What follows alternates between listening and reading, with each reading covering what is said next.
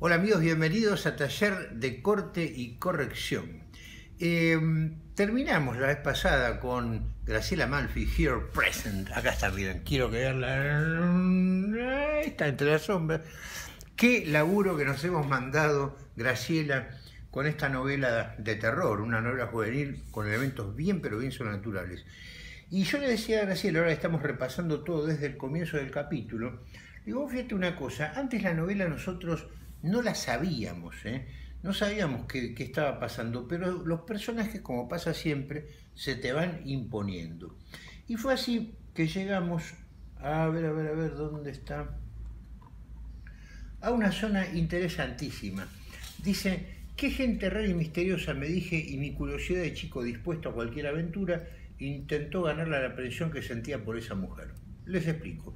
Este chico está en la casa del abuelo, el abuelo después nos enteramos que es un brujo, la otra, esta mujer que se menciona ahí, es precisamente eh, la, asistente, y el chico tiene una relación bastante temerosa respecto al abuelo, y es natural, algo, algo raro nota él, ¿no es cierto? Y está muy, pero muy cargado.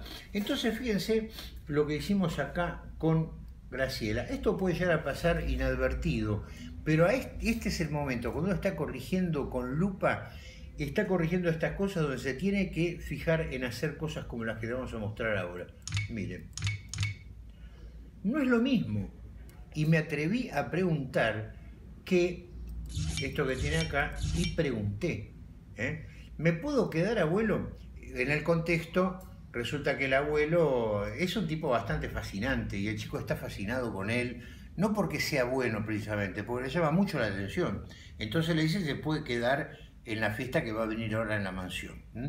Pero una cosa es preguntarlo y otra cosa muy distinta es, y me atreví a preguntar, con una persona eh, con la cual nosotros tenemos mucha confianza, digamos que no, no tenemos necesidad de este, animarnos a nada. Lo preguntamos y listo, en una relación franca de amigos. Yo mira, yo quiero esto, necesito esto, me gustaría darte tal cosa. Esas cosas, digamos, de este, que hacen a la vida, ¿no?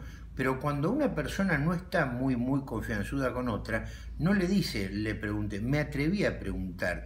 Desde el punto de vista de la significación es muy, pero muy distinto. En una película, el actor va y pregunta, pero y si tiene que dárselas, digamos, transmitir, poner todo en juego para ver que él no, no pregunta, sino, que se atreve a preguntar, como diciendo, ¿me puedo quedar, abuelo? Esto sería como atreverse, ¿me puedo quedar, abuelo? Ustedes muchachos, quédense en este canal, en taller de corte y corrección que les viene un kilo. Seguimos en carrera ya alcanzando los 14.000 suscriptores. Les mando un abrazo, pongan like compartan.